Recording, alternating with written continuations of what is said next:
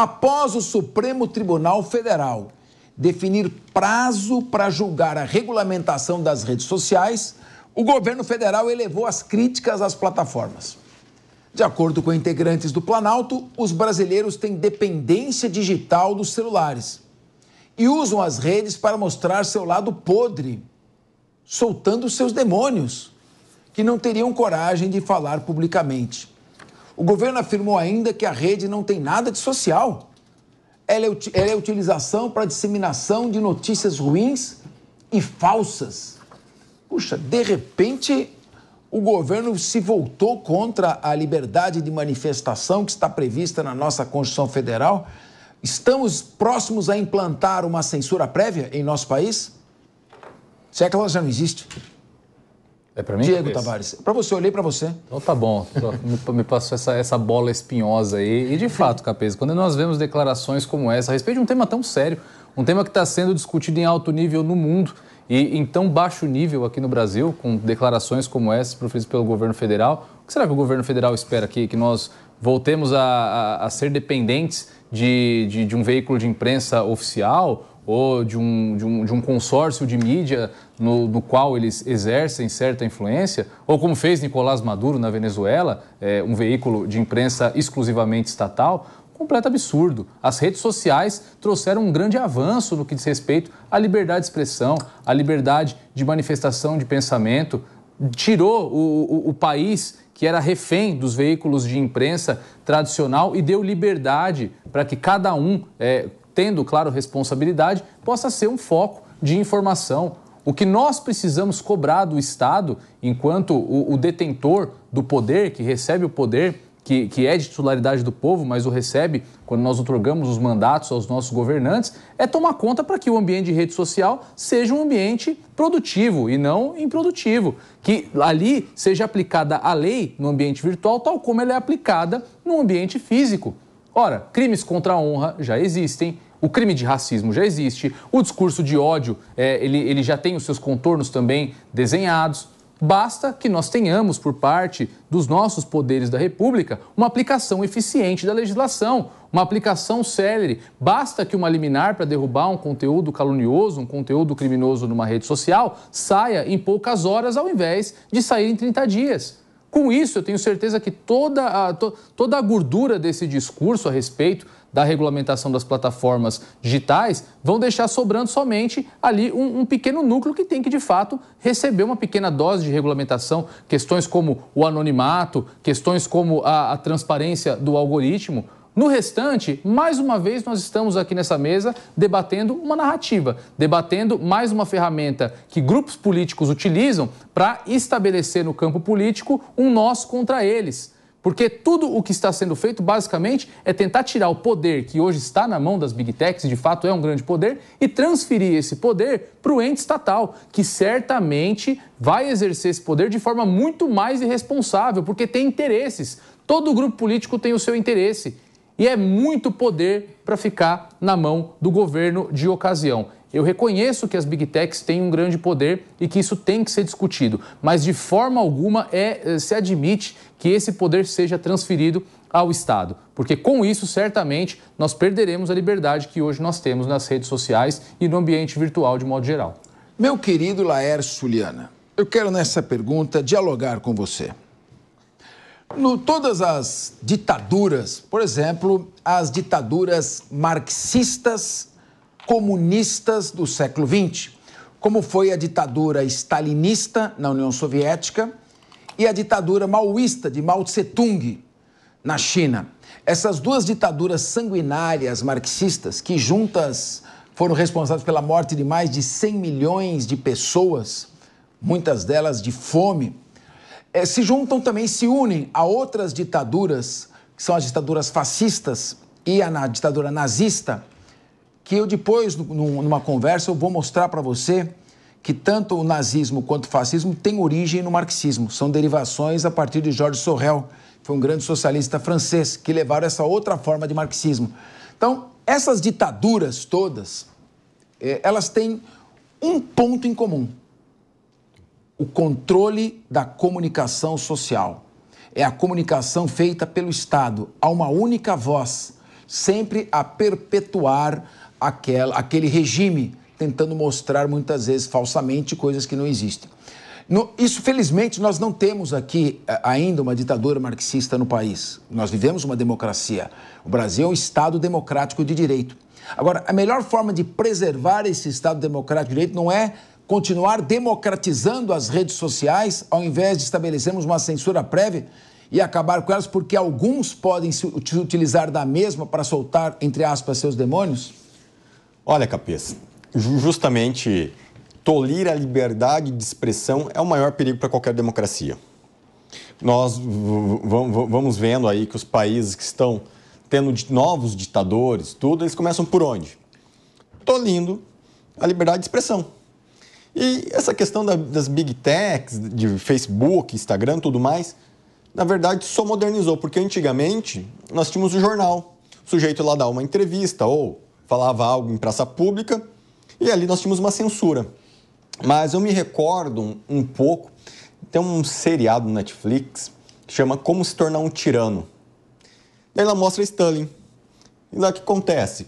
Vai, eles pegam quem tem liberdade de expressão não pode se manifestar, chamam um, um repórter americano e ele vai pela Rússia ali e vai parando, perguntando para os agricultores: Ah, como você está? Ah, não, está tudo bem. Mas por quê? o governo não permitia falar nada mal contra o governo.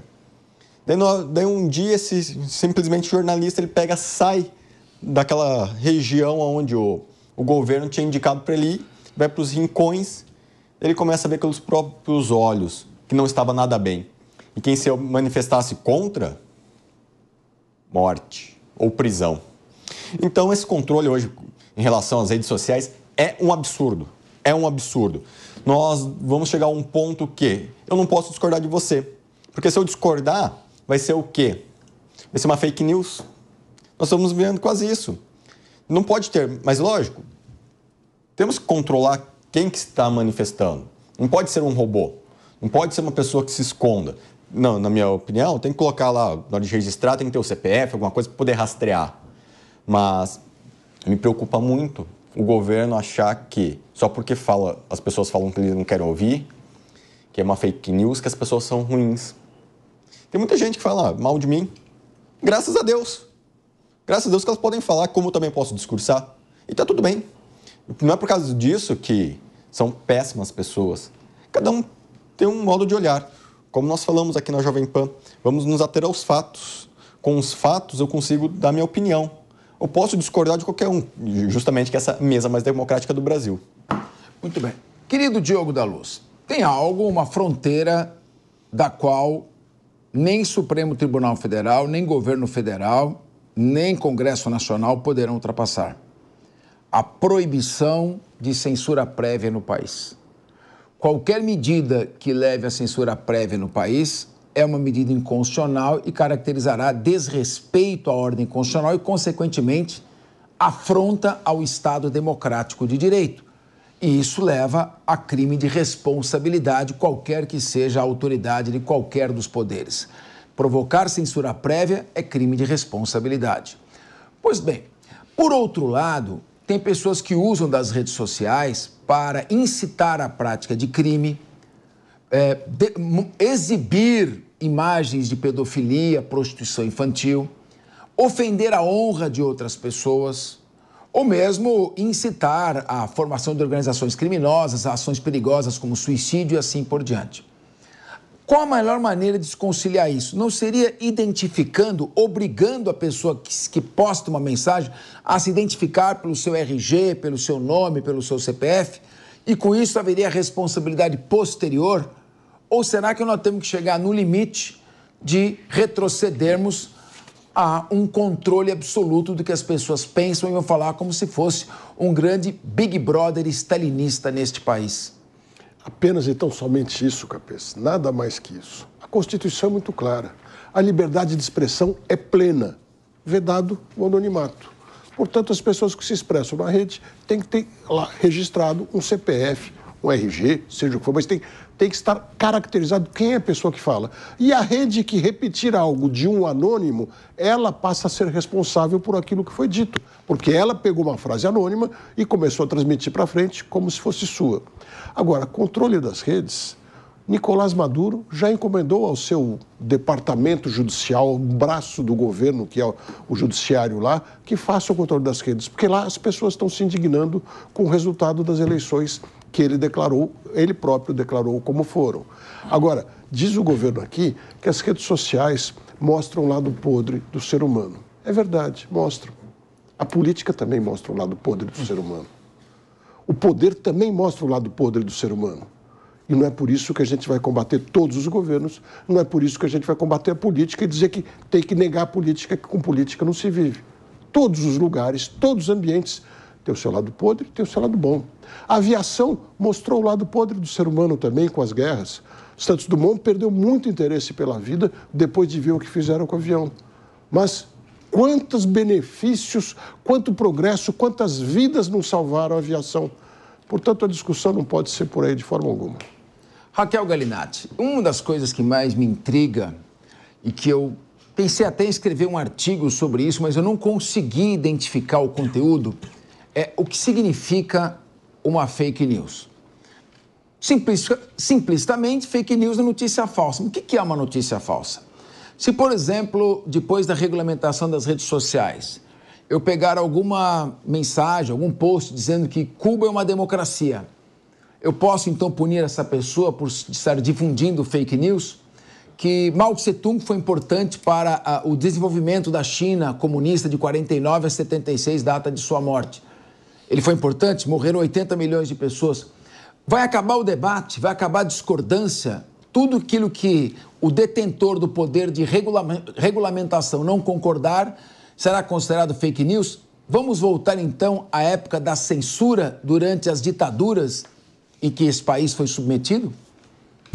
Exatamente. Se te colocássemos um tipo penal chamado fake news, esse tipo penal já nasceria um tipo penal com uma norma extremamente aberta. Um tipo penal que, digamos, eh, nos seus livros e doutrinas, em branco, uma lei penal, lei penal em, em branco. Porque se escreve o que quiser. Ah, ah, mas eu vou fazer algumas análises que, mais uma vez, a gente só reforça a contradição de falas, narrativas e gestos do governo federal. Quando a gente fala ali no artigo 37 da Constituição Federal, a gente fala dos princípios da administração pública. Dentre esses princípios, nós temos a publicidade. As redes sociais, elas dão a possibilidade de uma maior transparência, de uma maior fiscalização, inclusive dos poderes públicos. E eu falo isso como? Pertencente a forças policiais e hoje secretária de Segurança Pública de Santos, quantas denúncias são feitas através de redes sociais? E o quanto este governo não fomenta e a implementação de câmeras instaladas em policiais. Então eu vejo a narrativa contraditória. Ora, esse governo ele quer uma transparência, ora esse governo ele quer uma fiscalização, mas depende do referencial, depende do que se fiscaliza, depende do que se fala, depende de quem fala. Isso obviamente denota uma completa discricionariedade numa atuação de justiça. A discricionariedade cabe à justiça a quem é o amigo do rei. Muito bem.